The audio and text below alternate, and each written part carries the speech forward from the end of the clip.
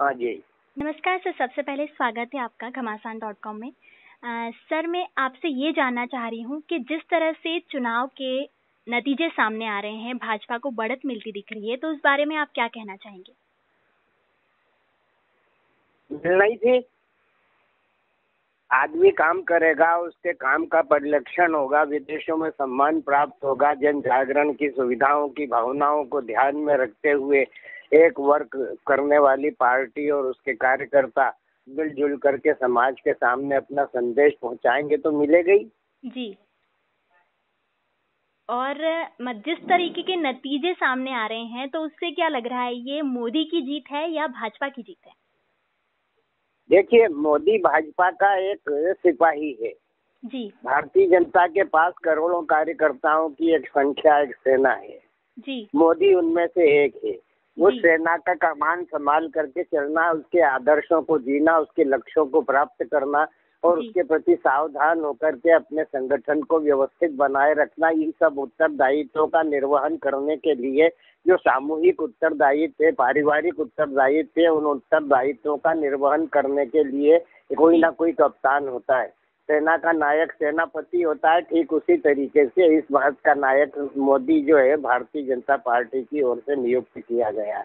उसका आचरण में सत्य ईमानदारी है नैतिकता है संघर्षशीलता है साहस है प्रेम है उत्साह है ये सारी की सारी बातें उसके व्यक्तित्व में समाई हुई है। उसका व्यक्तित्व लोगों को प्रभावित करता है। विदेशों तक ने उसके व्यक्तित्व को स्वीकारोक्ति दी है। जी। और भारतवर्ष के सम्मान को बढ़ाने के लिए उसने काम किया है। देश की जनता के दर्द दुख और दर्द को समझ करके सामान्य जन की पीड़ाओं को कम करने की योजनाओं को उसने लागू किया है। ऐसी स्थिति में लोगों का आकर्षण उनके पास होना चाहिए। दूसरे जो विरोधी पक्ष के लोग थे उन्होंने अनर्गल प्रचार किया नकल की भारतीय जनता पार्टी की। भारतीय जनता पार्टी की तरह वो मंदिरों में जाने लगे चोला बदलने लगे। और फिर सबसे बड़ा जो उन्होंने काम किया वो ये है कि अपमानजनक शब्दों का उपयोग करना शुरू किया। राजनीति शब्द भ्रष्ट हो गई। जी। तो इन स्थिति और परिस्थितियों के बीच में भारतीय जनता पार्टी के उत्कर्ष का सोपान अपने आप स्वयं ही खड़ा हो गया। जनता ने निर्णय ले लिया। जनता बोलती नहीं एक दिन बोलती आज बोल रही है वो। जी सर।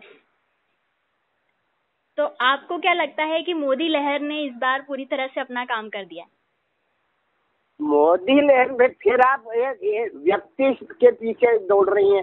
आपको ये मीडिया वालों की सबसे बड़ी खबर है मोदी अकेला चुनाव लड़ सकता है क्या घर घर जा सकता है? क्या घर घर मोदी हर हर मोदी के नारे को घर घर और हर हर तक पहुँचाने का काम तो भारतीय जनता पार्टी के कार्यकर्ता के द्वारा किया गया है ना? तो ये जीत संगठन और कार्यकर्ता की जीत है जिसे जनता का आशीर्वाद मिला है। जी।